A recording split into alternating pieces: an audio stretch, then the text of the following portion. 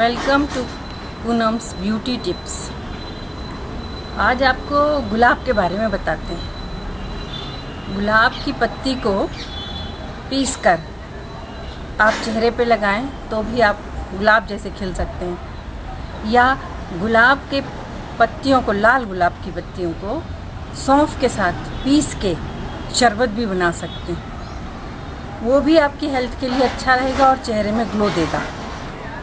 गुलाब की पत्ती के साथ आप दूध मिला के, शहद मिला के अपनी झुर्रियों को कम कर सकते हैं। हमारी ईमेल पर आप अपना फीडबैक दे सकते हैं और हमें फ़ोन भी कर सकते हैं।